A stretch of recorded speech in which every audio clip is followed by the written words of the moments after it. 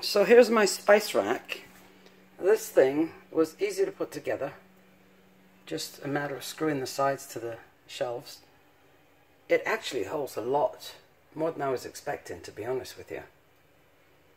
You have, um, you can either have it freestanding, I'm having it freestanding because it is, it's not going anywhere.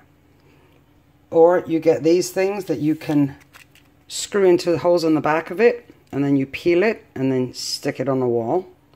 So there's two of them to stick it to your wall or a cupboard. Or you can use, um, you get screws and, um, ah, the thing is that you, plugs, there you go. Screws and plugs. So you can actually screw it into the wall if you choose to. But I'm going to have it freestanding because it does stand sturdy.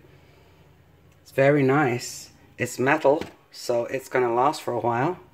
Um, it has three hooks. I just stuck my scissors on there for effect, but it's got three handy hooks on the side.